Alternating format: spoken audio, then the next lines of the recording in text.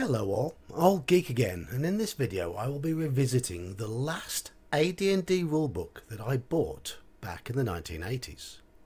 Here's where I admit I didn't own every book, and there are some books I have never owned.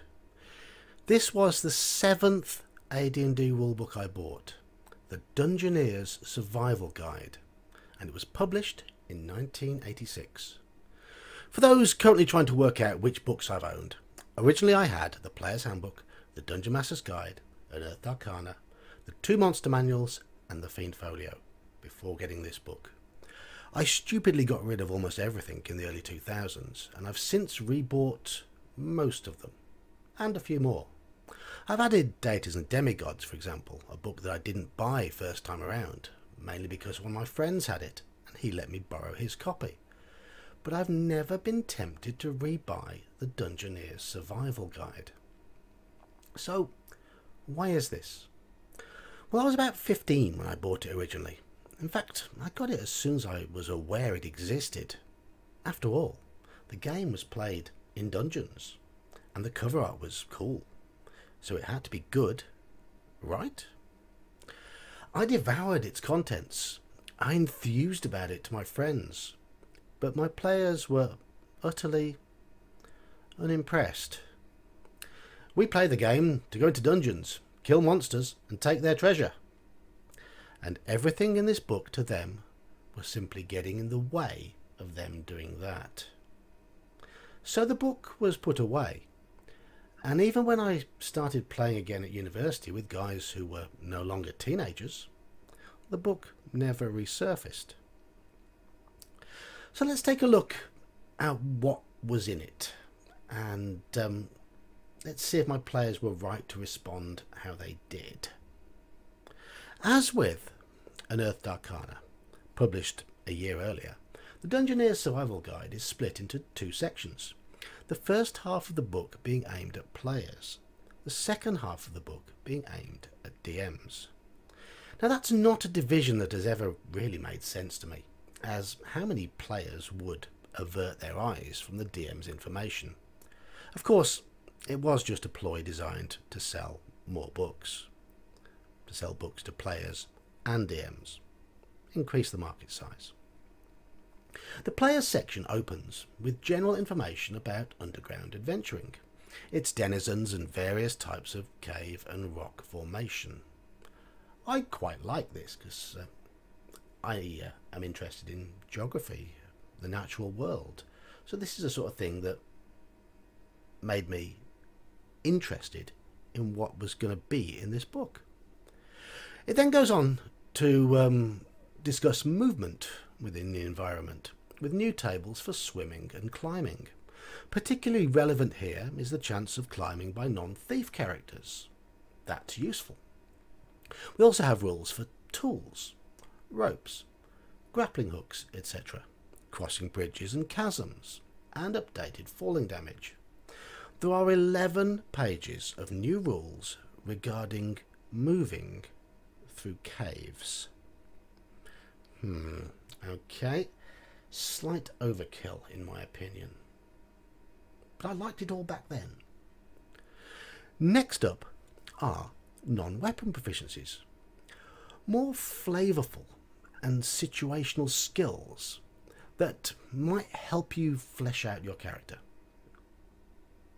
These had first appeared in Oriental Adventures, but as I didn't get that book, this was the first time that I saw them, and I originally liked the idea of them.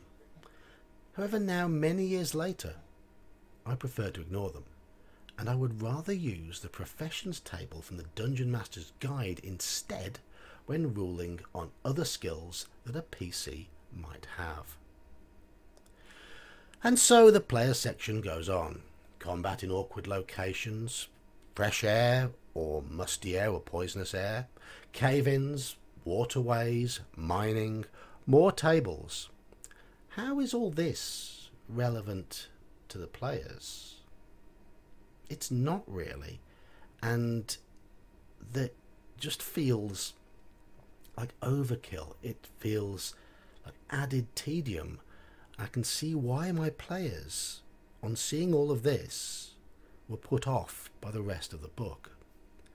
In fact, it's not until we get to page 56 that we get something meaty that we and my players at the time found uh, useful again. And that's new equipment, an array of tools, the uses for the tools, beasts of burden, expedition planning, intelligent uses of spells underground. But all of this is just crammed into six pages. Certainly the best six pages in this players section of the book. And that's a shame because the players section is over 60 pages in length. And to have only six pages of that bit really be of use is certain to put teenagers off. But does the Dungeon Masters section get any better? Well, in short, yes. Certainly looking at it now through the eyes of a more experienced old man. After a bit of useless guff initially, we have an interesting chapter on underground races, their motives and their communities. This is followed by a significant chunk regarding a suggested region for campaign use, the lands of Deep Earth. For a DM wishing to construct a campaign in the Underdark, this is good stuff, bringing plenty of logical ideas to the table that are ripe for the plunder. I guess this is the bit that would most tempt me to buy a physical copy of the book again. But when I was in my mid-teens, I was too disorganized to build a meaningful, lasting, cohesive campaign. Plus, we simply didn't meet regularly enough. Limitations I've covered in other videos. Mostly due to my friends who played the game being scattered all over a wide area and the, the logistics of us meeting up. So instead I use modules all the time. I adapted the modules, I changed bits of them, and I reused some certain sections, but for me it was almost always modules. And I read the DM section in the Dungeoneer's Survival Guide, but I never put it to good use. And my players didn't really pay any attention to this bit, because it didn't interest them. The following 14 pages are excellent too. Constructive information regarding creating and running scenarios, campaign preparation tips, player interactions. There's some very obvious bits and pieces in there, um, and there's nothing in there that's any real revelation to me now. But under different circumstances, this could have been very useful for little teenage me if only those circumstances had been different. Next comes a section that I believe most people will remember this book for map making. More specifically, the art of creating isometric 3D maps. We'd first seen this impressive style demonstrated in the module I6 Ravenloft, though it had also graced a number of other modules by the time the Dungeoneer Survival Guide appeared. Most people will remember Ravenloft though, as the other modules that use this style were nowhere near as good. Often they were a case of nice maps, shame about the module. Again, this section would be useful to me nowadays, rather than me as a teen. The book concludes with a very welcome collection of all the new tables, so you could refer to them much more easily, should you so desire. But the thing is, after the initial excitement, we didn't want to refer to them. My group back then wanted to bash down doors, kill trolls, and run off with the loot. They weren't interested in a fantasy caving expedition or the intricacies of owning and operating a mine. And that's why the book as a whole failed for us. That immediate extra crunch in the players section was over the top, fiddly. It all felt ultimately like a pointless exercise. Most of the more useful stuff was buried in the DM section, but that needed a mature, organised DM to make use of it and to plan adventures and campaigns in an underworld setting.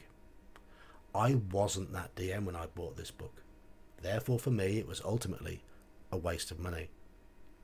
And on realizing that fact, I went on to not buy the Wilderness Survival Guide and the Manual of the Planes, or either of Greyhawk or Dragonlance Adventures. It was pretty much the book that burned me out of buying any more AD&D, certainly first edition AD&D hardbacks. But ultimately, looking back, the book isn't as bad as I thought it was. Certainly, it's not a necessary purchase. Most experienced DMs are more than capable of running a cohesive underground game without using any of the rules presented here. They have the general level of game understanding required to make logical rulings instead.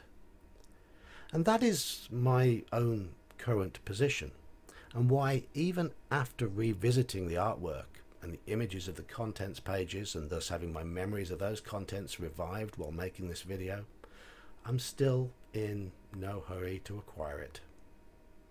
Maybe one day, just for the sake of completeness,